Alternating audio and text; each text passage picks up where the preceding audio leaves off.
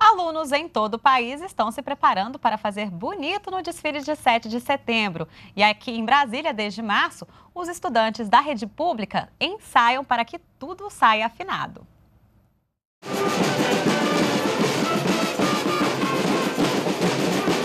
Instrumentos afinados, coreografias ensaiadas, todo mundo marchando no mesmo ritmo.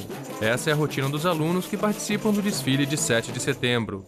Embora o treino seja rigoroso, João Vitor já participa há três anos e se entusiasma com a oportunidade de tocar percussão no Dia da Independência. É o Dia da Independência do meu país, o país que tanto amo. E é importante que está sempre mostrando meu patriotismo pelo meu país. Que o patriotismo que nós deveríamos ter todos os dias dos anos, do, do ano, e não só no dia da independência. Até quem já não é mais estudante faz questão de participar da banda da Secretaria de Educação. Rodrigo Barbosa começou a tocar no grupo em 2005, quando fazia o primeiro ano do ensino médio. O músico explica por que continua a fazer parte do conjunto.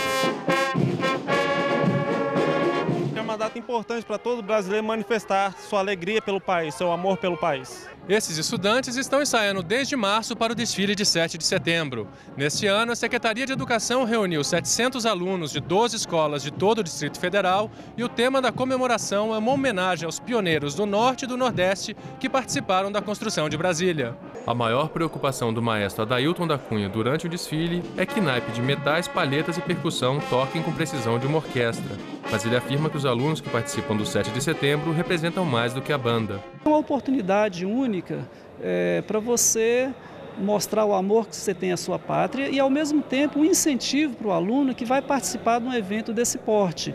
Né? Ele vai estar representando a sua escola, o seu estado e também o seu país.